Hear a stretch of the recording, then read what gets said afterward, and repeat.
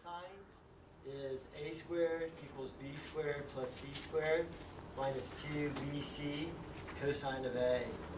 And it, it's pretty long and complex, but it's actually not too hard. The thing to remember, and, and this is why I really said it was very important to make sure that lowercase letter is always length of a side opposite a given angle.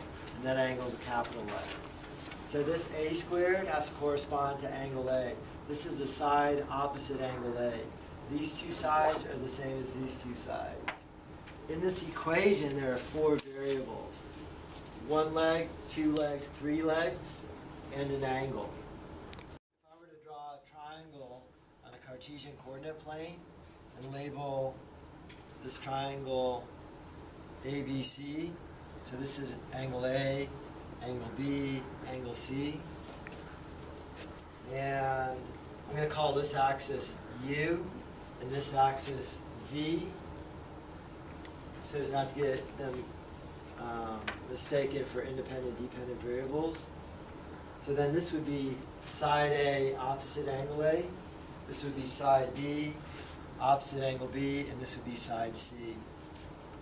If I draw the altitude in this triangle, then um, I will go over U units, up V units, right, over U, up V on my V axis, and the coordinates of this point right here would be U, V. The coordinates of this point right here is I will go over C units and up zero units. This coordinate zero, zero. Okay. Then this angle right here, A, I know that the cosine of angle A, cosine of angle A is equal to the adjacent over the hypotenuse, u over b. And the sine of angle A is equal to the opposite of the hypotenuse, so it's v over b. If I cross multiply here, multiply both sides by b, I can see these cancel, and that v is equal to b sine of a. And right here, I'll multiply both sides by b. And u is equal to b cosine of a. And then law of cosines, you're going to use this a ton actually, Gavin. Anytime you're building anything with non-right triangles, you use the law of cosines or law of sines. So, I, mean, the last project you're telling me about was on the back of your truck, where you're um, building that headache bar or headache rack. So, you know, if you want to do any sort of non-right triangle inside of there for support, to find any of those angles and lengths, use the law of cosines. And same with any kind of trusses in the, in the roof design. Anything that has a triangle that's non-right, you should use law of cosines. Courtney, was there a question? Okay, so now I'm going to use the distance formula to find the length of A, right? So the distance between two coordinates, you know that A squared is going to equal the x value, u, this x value minus this x value, u minus c squared, plus the difference in the y values, v minus 0 squared.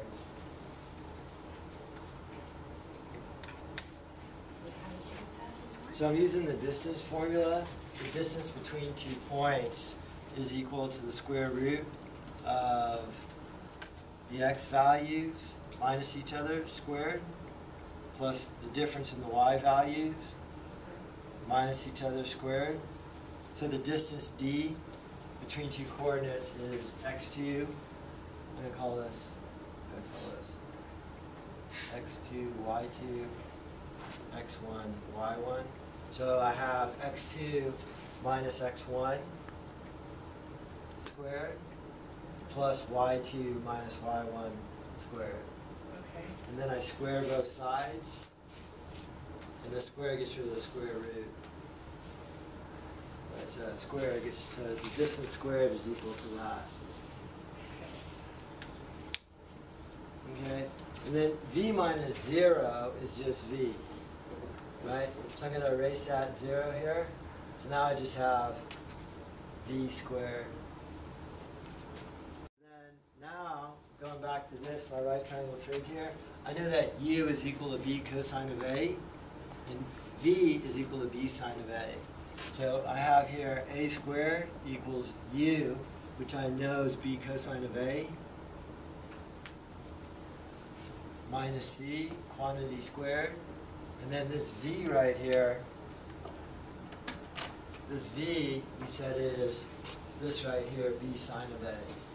So this is plus b sine of a squared. So I replace u and v in terms of sine and cosine. Okay, let me erase some of this. So now, what I want to do is FOIL that out.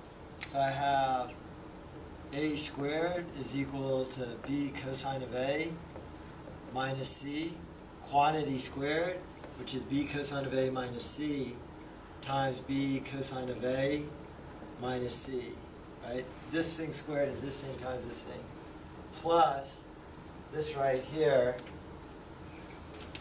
I distribute that square through this to get b squared sine squared of a. Now I'm just going to FOIL those out.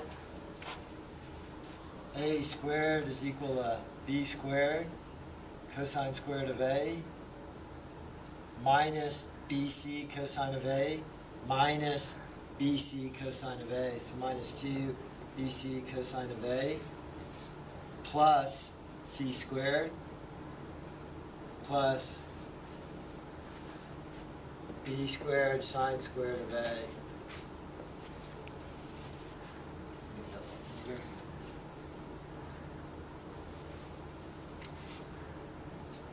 All, all I'm gonna do right now is I'm just gonna move these next to each other. I'm gonna put this one and this one next to each other.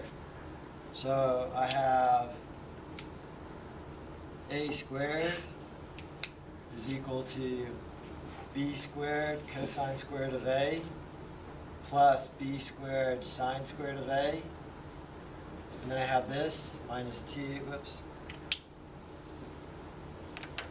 This minus 2 bc cosine of a plus c squared. We're coming, coming together here.